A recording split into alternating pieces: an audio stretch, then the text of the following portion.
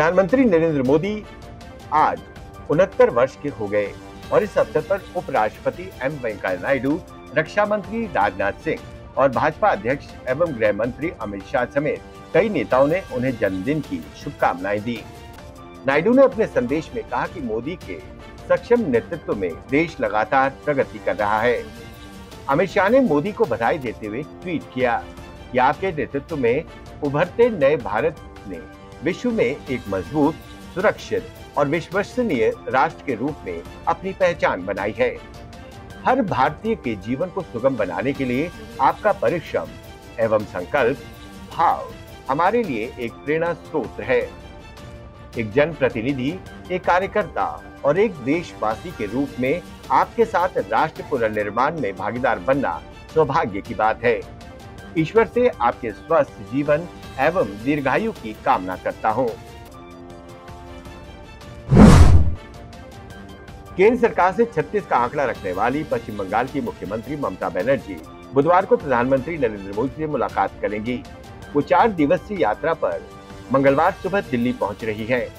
प्रस्तावित बैठक को महत्वपूर्ण माना जा रहा है और ये ऐसे समय में हो रही है जब तृणमूल कांग्रेस के कई नेता और कोलकाता के पूर्व आयुक्त राजीव कुमार घोटालों मामलों में सीबीआई जाँच के घेरे में है। भाजपा और प्रधानमंत्री मोदी की कट्टर आलोचक ममता लोकसभा चुनाव में भाजपा द्वारा पश्चिम बंगाल में 18 सीट जीतने से पहले ही नाराज़ थी।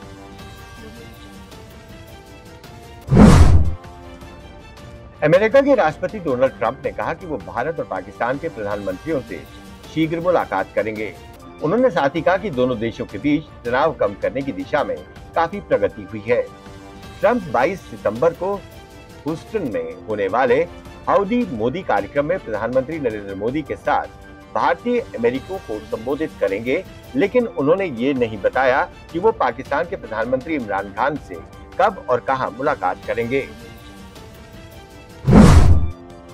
भारतीय वायुसेना को अरुणाचल प्रदेश में एक और एडवांस लैंडिंग ग्राउंड मिल गया है। यहाँ से फिक्स विंग के एयरक्राफ्ट जैसे ए एन बत्तीस Mirage two thousand Sukhoi thirty M K one Jaguar और तेजस उड़ान भर सकेंगे। इस एडवांस लैंडिंग ग्राउंड के फिर से सक्रिय होने से वायुसेना को पूर्वोत्तर में ऑपरेशन को अंजाम देने में सुविधा होगी। चीन के साथ बढ़ते तनाव के बीच ये लैंडिंग ग्राउंड भारतीय वायुसेना को एक ताकत प्रदान करेगा।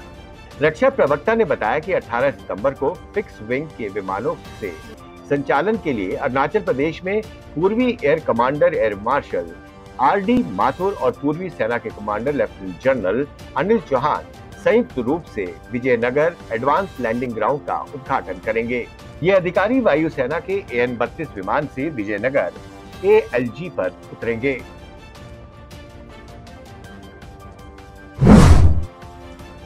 रेल टिकट के लिए भेजे जा रहे सांसदों के फर्जी पत्रों से परेशान होकर रेल मंत्रालय ने वीआईपी कोटे के तहत प्रतीक्षा सूची के टिकटों को फॉर्म भरने की प्रक्रिया कड़ी कर दी है। मंत्रालय ने अब सांसदों को आधिकारिक लेटरहेड की प्रति भेजने का आग्रह किया है ताकि फर्जी हस्ताक्षर वाले पत्रों की पहचान की जा सके। रेल मंत्रालय लगभग सभी प्रमुख ट्रेनों में पाँच फ़ीसदी कोटा वीआईपी लोगों के लिए रखता है। इनमें केंद्रीय मंत्री सुप्रीम कोर्ट और हाई कोर्ट के जज, सांसद, विधायक आदि होते हैं। इन्हें अचानक कहीं जाने के लिए यदि कंफर्म टिकट नहीं मिलता तो रेल मंत्रालय से वीआईपी कोटे के तहत कंफर्म कराने का आग्रह करते हैं। वे स्वयं के साथ रिश्तेदारों और परिचितों के लिए भी आग्रह कर सकते हैं। रक्षा अनुसंधान एवं विकास संगठन डीआरडीओ का एक अनमैंड एरियल व्हीकल यूएवी मंगलवार सुबह कर्नाटक में दुर्घटनाग्रस्त हो गया। चित्रदुर्ग ज़िले में सुबह छह बजे यूएवी दुर्घटनाग्रस्त हुआ। ये डीआरडीओ का रुस्तम दो यूएवी था। आज इसका ट्रायल किया जा रहा था। गृह मंत्री अमित शाह द्वारा देश के लिए एक भाषा की पैरवी करने की पृष्ठभूमि में कांग्रेस के पूर्व अध्यक्ष राहुल गांधी ने कहा कि कई भाषाओं का होना इस देश की कमज़ोरी नहीं है। उन्होंने ट्वीट कर कहा, कन्नड़ उड़िया, मराठी, हिंदी और तमिल, अंग्रेज़ी, गुजराती भाषाएँ हमारी कमज़ोरी नहीं है। मलेशिया के प्रधानमंत्री डॉक्टर महातिर मोहम्मद ने कहा कि जाकिर नाइक को लौटाने को लेकर प्रधानमंत्री मोदी से कोई बात नहीं हुई थी। नाइक को ज़्यादा देश नहीं चाहते हैं। मलेशियाई मीडिया के अनुसार प्रधानमंत्री महातिर मोहम्मद ने जाकिर नाइक को भारत को लौटाए जाने की संभावना को लेकर पूछे गए सवाल के जवाब में कहा कि उसे ज़्यादा देश नहीं चाहते हैं। मैं प्रधानमंत्री नरेंद्र मोदी से मिला हूँ। उन्होंने भी उसकी मांग नहीं की थी। ये शख्स भारत के लिए भी परेशानी का सबब बन सकता है। उन्होंने कहा कि जाकिर नायक इस देश का नागरिक नहीं है। उसे पिछली सरकार ने स्थायी निवासी का दर्जा दिया था। स्थायी निवासी को देश के सिस्टम तथा राजनीति के बारे में टिप्पणी नहीं करनी चाहिए। उसने इसका उल्लंघन किया है, इसलिए अब उसे बोलने की अनुमति नहीं है। प्रधानमंत्री नरेंद्र मोदी आज उनहत्तर साल के हो गए। वो अपना जन्मदिन गुजरात में मनाएँगे।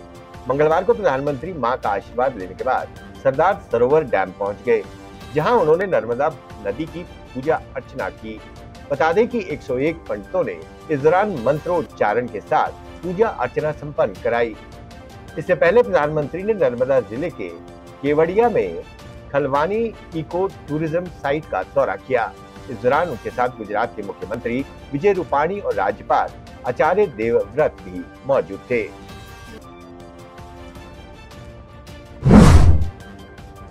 कांग्रेस की अंतरिम अध्यक्ष सोनिया गांधी ने प्रधानमंत्री नरेंद्र मोदी को जन्मदिन की बधाई दी है। सोनिया ने अपने बधाई संदेश में कहा कि वो प्रधानमंत्री को जन्मदिन की बधाई देते हैं और उनके स्वास्थ्य खुशहाल और दीर्घायु होने की कामना करती हैं।